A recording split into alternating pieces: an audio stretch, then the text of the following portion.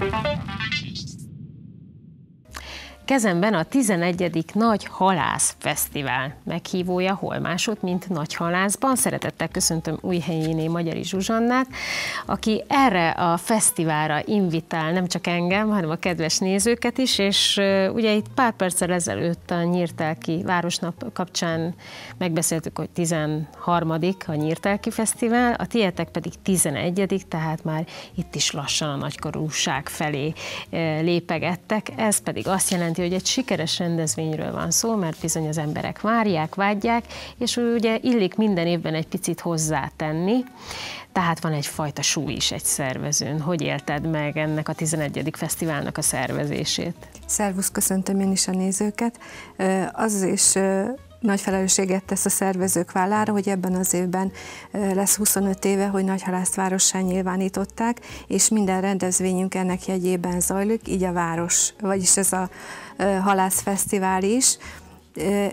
Annyiban lesz újdonság az előzőekhez képest, hogy most kétnapos rendezvényt bonyolítunk le. Pénteken lesz a nagy koncertünk, a bikini koncert, illetve szombaton lesznek a reméljük nagy tömegeket vonzó családi programok, illetve a gyermekeknek és az odalátogatóknak közösségi programok is. Hát azért a bikini az gyakorlatilag fölteszi a koronát már a péntekre, illetve ad egy olyan, olyan jó kis bulis hétvégi hangulatot, hogy aki, aki ott lesz ezen a koncerten, úgy gondolom, hogy az mindenképpen vágyik arra, hogy ugyanezt a közösségi élményt ugye megélje másnap szombaton.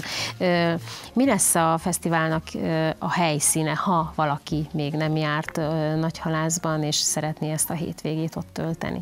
A piac téren rendezők, és én már sokadik alkalommal itt. Azért szerencsés ez a rendezési helyszín, mert a város abszolút központjában található, tömegközlekedési eszközzel megközelíthető, illetve személyautóval is megközelíthető, mivel a város főutcája hosszan elnyúló, több helyen van nagy létszámot befogadó parkoló is.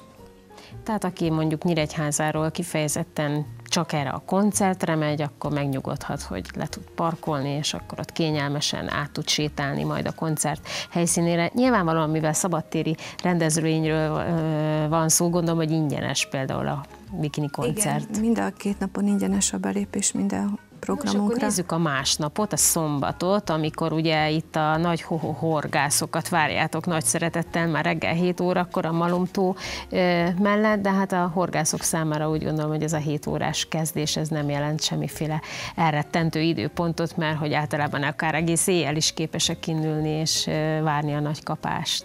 Így van, a név kötelez, ugye, mivel halas hagyományaink vannak, kötelezőnek érezzük, hogy halhoz kapcsolódó programot is iktassunk be a programsorozatba. Egy elszánt horgász az akár, ahogy mondtad is, akár hajnalban, akár éjszaka is horgászik nagy létszámban szoktak erre a horgászversenyre jelentkezni, egészen kisgyermekektől az aggastyánokig úgy mondhatom.